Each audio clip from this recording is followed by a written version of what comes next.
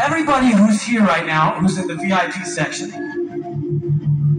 would you guys be totally butthurt and annoyed if I said, hey, you guys in the back, you should come and hang out with us in the front? Would that totally like mess up your night?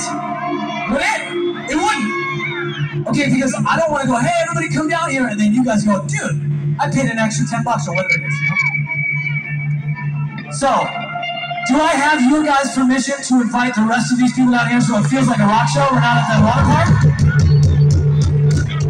All right.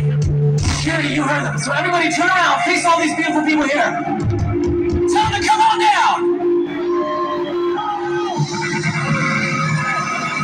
Come on! Let's go, Magic Springs! I want to smell you guys!